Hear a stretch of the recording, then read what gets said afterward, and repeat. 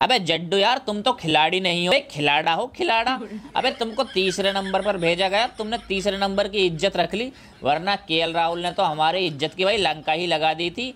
अरे वो तो भैया, हमारा भी कैच छूट गया ज़ीरो पे, वरना टीम की ऐसी की तैसी हो जाती। और भैया, अंत में अपने पांड्या ने तो कतई कांड्या कर दिया भैया, क्या मौज कर दी भैया। पांड्या यार, तुमको तो यार लक लक बधाई हो एकदम से, और वरना तुम ना होते तो ये मैच तो हम हार ही चुके होते। लेकिन भैया, पाकिस्तान के गेंदबाजों ने भी कतई गजब ढा दिया। अरे कोहली यार, तुम हमको हल्के में ही समझ रहे हो अभी भी।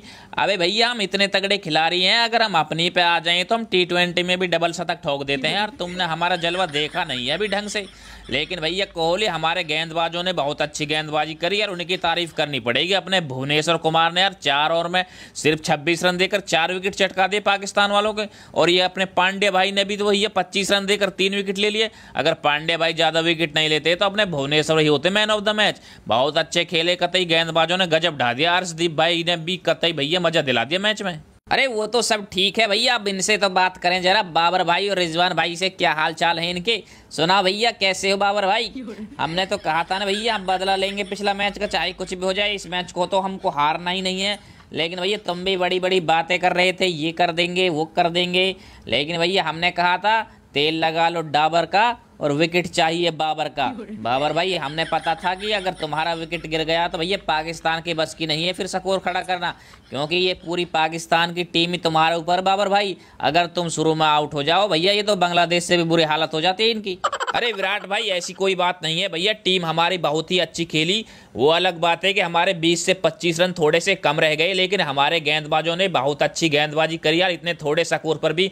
तुम्हारी टीम को एकदम भैया बांधे रखा। वो तो हमारे नसीम शाह के थोड़े से पैर वैर में चोट लग गई, वरना ये मैच हम हारने वाले नहीं थे। और भैया बैटिंग में अपने रिजवान के जलवे देखो, भैया सबसे ज़्यादा रन बनाए हैं। वैसे वो थोड़ी सी गलती कर बैठे। अगर ये इनका कैच ना पकड़ा जाता तो भैया स्कोर हमारा दो के आसपास पहुँचता।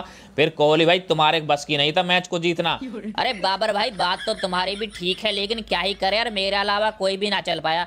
चल तुम तो आउट हो गए हो गए कोई बात नहीं यार कोर भी कोई बल्लेबाज जम ना पाया भैया ऐसी हालत हो गई तू चल मैं आया तू चल मैं आया। अरे ऐसे कैसे जीत पाएँगे यार?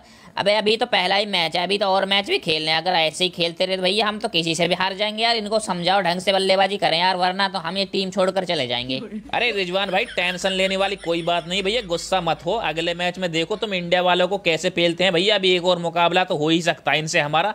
टेंशन लेने वाली कोई बात नहीं भैया। अगला ही मैच में बदला ले लेंगे। दस विकेट से ही जीतेंगे। अरे बाबर यार, क्या बात कर रहे हो तुम?